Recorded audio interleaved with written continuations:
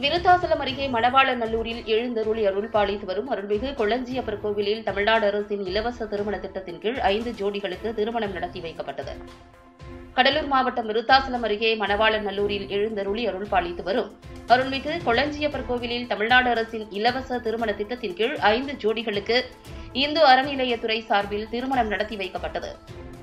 கடலூர் மாவட்ட இந்து அறநிலையத்துறை உதவி ஆணையர் சந்திரன் தலைமையில் கோவில் செயல் அலுவலர் பழனியம்மாள் பெண்ணாடம் செயல் அலுவலர் மகாதேவி முன்னிலையில் நடைபெற்ற இந்த திருமண நிகழ்ச்சியில் சிறப்பு அழைப்பாளர்களாக விருத்தாசலம் சட்டமன்ற உறுப்பினர் எம் ஆர் ராதாகிருஷ்ணன் நகரமன்ற தலைவர் சங்கவி முருகதாஸ் வெங்கடேஸ்வரா கல்வி நிறுவன தலைவரும் கடலூர் மேற்கு மாவட்ட திமுக விளையாட்டு மேம்பாட்டு குழு அமைப்பாளருமான வெங்கடேசன் ஆகியோர் கலந்து கொண்டு அனைத்து திருமண ஜோடியினருக்கும் தாலி எடுத்துக் கொடுத்து திருமணம் செய்து வைத்து மணமக்களுக்கு பரிசு பொருட்கள் வழங்கி வாழ்த்துக்களை தெரிவித்துக் கொண்டனர்.